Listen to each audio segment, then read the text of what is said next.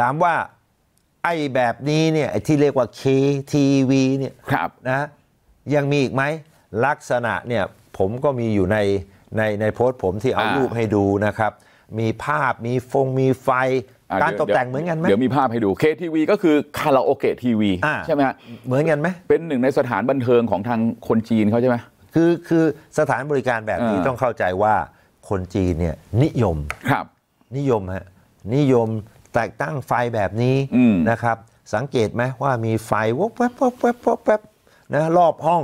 นะครับ มีเขียงนะครับ มียาเนี่ยเป็นหลอดหลอดเป็นแถวแถวๆครับนะครับ ให้ซีดนะครับ แล้วก็เป็นยังไง เมานะครับไอไอไออันเนี้ยเดี๋ยวผมจะพูดให้การเออพัฒนาการของมันก่อนครับนะครับอ่า KTV เนี่ยอ่าที่นิยมเนี่ยต้องเข้าใจว่ามันจะต้องมีสูตรอยู่ยังไงฮะอ้าว มันไม่ใช่ว่าอยู่ๆหนึ่งจะต้องมีไฟนะครับ มีโซฟงโซฟา มีทีวีร้องเพลงนะครับ เสร็จแล้วก็ต้องมีผู้หญิง เสร็จแล้วต้องมียา เสร็จแล้วก็ต้องมีการพนัน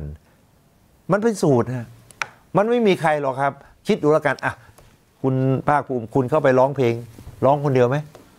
ก็คือคุณร้องกับเพื่อนสองคนคือคาราโอเกะทั่วไปก็ต้องมีมีคนอ่าที่เป็นพนักงานผู้หญิงเข้ามาร้องด้วยอะใช่ไหมถูกอ่า ทีนี้ผู้หญิงเนี่ยผมถามคุณดูว่า เอ้ผู้หญิงเนี่ย เอ้ผู้หญิงไทยเนี่ย มันจะร้องเพลงจีนเนี่ยมันจะคุยภาษาจีนได้ไหมเพราะนี่เขารับแต่คนจีน ถูกต้องอันนี้ลูกค้าเขาจีนร้อยเปอร์เซ็นต์ที่ถูกจับไปเนี่ยนักท่องเที่ยวชาวจีนทั้งนั้นหญิไม่งมีชายไทยต่างไทยอาจจะ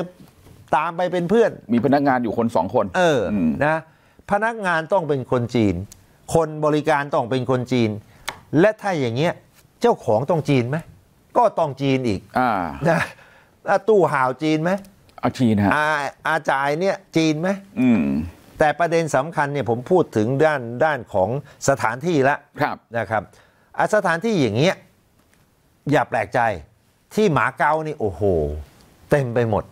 ไอ้แบบเนี้ยนะเข้าไปแล้วเจออย่างเงี้ย KTV อย่างเงี้ย KTV เนี่ยที่หมาเกาเนี่ยเยอะแยะครับครับอ่า จะไม่ว่าจะชื่อลีโอ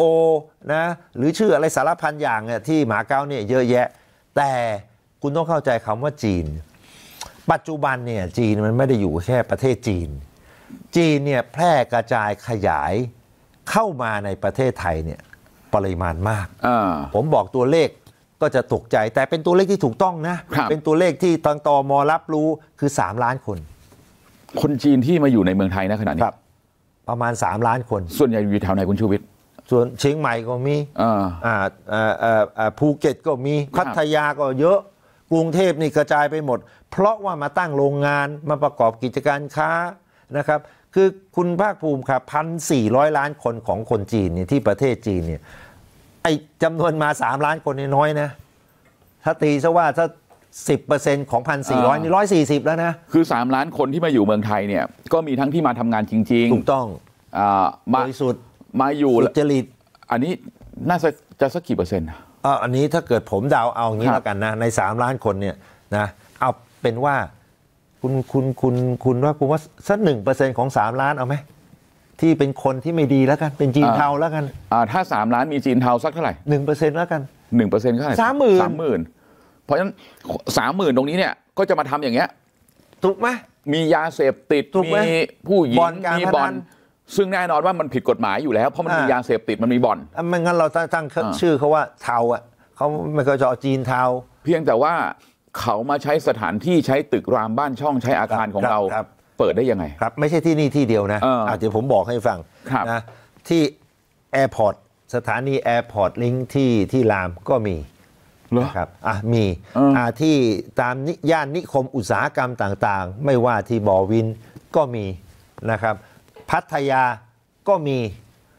มันไม่ได้มีที่นี่ที่เดียว ไม่ใช่ว่าไปตามจับจิ้งหลิงเสร็จแล้วก็เอามาเจอไดมอนด์อืมเอาแล้วหมดแล้วไดมอนด์เพราะอันนี้คุณไม่เอาเป็นบทเรียน เพราะว่ามันยังมีอีกเยอะ มีอีกเยอะ เพราะอะไรครับอ้าวคุณให้ใบอนุญาตหรือเปล่าโอเค คุณอาจจะให้ใบอนุญาตถูกต้อง คุณได้ไปตรวจบ้างหรือเปล่า อันนี้ผมต้องบอกว่า ทางตำรวจก็ต้องเข้มงวดหน่อยนึงนะครับ ต้องไปตรวจตรา และสถานที่อย่างเงี้ยร้อยทั้งร้อยนะไม่มีวันปิดคืออ่าเปิด 24 ชั่วโมง นั่งกันยันเช้า เล่นกันยันเช้า สถานที่อย่างเงี้ยไม่มีหรอกครับที่จะปิดเที่ยงคืนตีหนึ่งตีสองเพราะสถานที่เนี้ยเป็นที่รู้กันเป็นการภายในของจีนโดยเฉพาะเพราะรับแต่ลูกค้าจีน พนักงานจีน เพลงจีน การตกแต่งจะเหมือนการเปิดไฟวบแวบแวบแล้วหนักกว่านั้นนะครับคุณรู้ไหมเดี๋ยวนี้ทำอะไรทำอะไรฮะคุณเห็นรูปที่ผมเอามาเปิดไหมมันมีที่หนึ่งเอาอ่างไปใส่ด้วยอ้าวคือพูดง่ายๆว่าเป็น KTV แล้วเป็นอาบอบนวดบวกกัน อันนี้สุดยอดนะ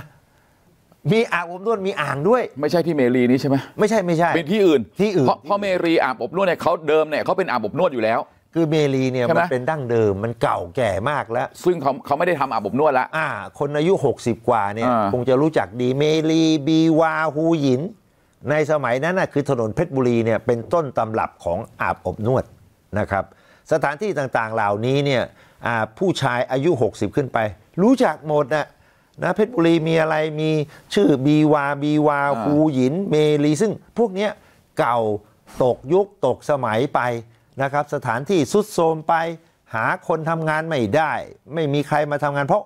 การทำอาบอบนวดเนี่ยมันไม่ใช่อยู่ๆจะไปทำนะสถานที่มีอ่ามันก็ต้องมีผู้หญิง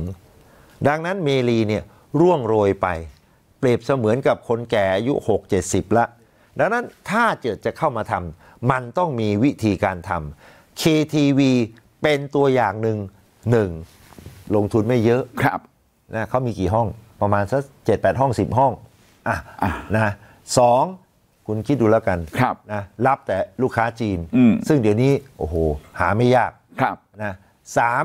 คุณมีพนักงานบริการหน่อย แต่ปัญหาสำคัญก็คือมันมีเรื่องยา